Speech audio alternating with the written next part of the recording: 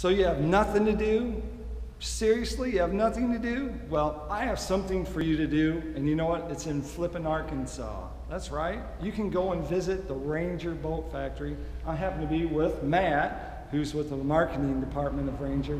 Tell us, tell us a little bit about it, Turf. If we were to go on one, what would we see? Yeah, well, we we actually were fortunate to have two full-time tour guides here at the at the factory that we offer two or three times a day, uh, Uh-huh. or by appointment. If you'd like to call ahead and set one up, we're happy to cater to you with a larger group. But you're going to see uh, the boat building process, and we've got a lot of customers that will, in fact. Uh, you know, strategically wait until their boat is towards the end of the production process and come down and get to see that, you know, their Ranger get finished in real time. Isn't that neat? So uh, tell us a little bit, how many square feet is this building?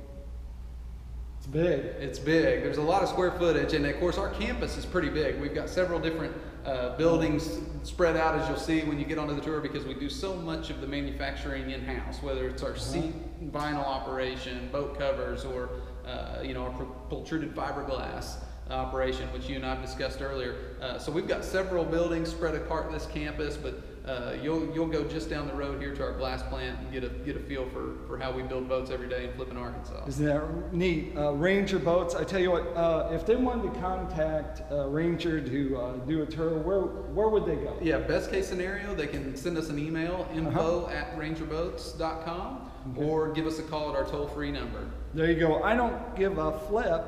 Get it? Flip. Uh, if you come or not, but it's in Flippin, Arkansas. You got to come and see this great stuff. Yeah, we'd love to have you.